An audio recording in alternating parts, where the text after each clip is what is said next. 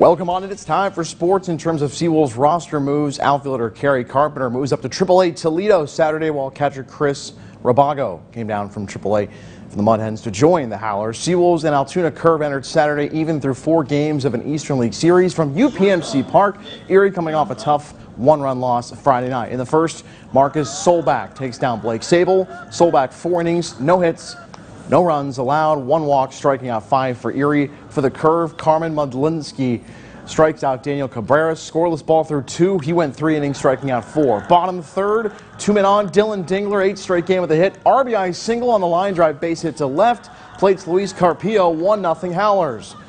And Noe Toribio in three innings of relief gave up just one hit for Altoona. In the ninth, Sable a single on a liner scores Nick Gonzales, and for the curve ties it 1-1. We need extra innings at the U. Andrew Navigato, the walk-off RBI base hit deep to right field as Luis Carpio comes home to win it in the walk-off. 2-1, Seawolves get the win. Low-scoring outing at UPMC Park, but the Howlers get it done and walk it off. 2-1 in 10 innings. Three straight 2-1 finals in this series. Two going to Erie, one to Altoona. 1.35 p.m. Sunday finale for the, these two teams tomorrow. Major League Baseball.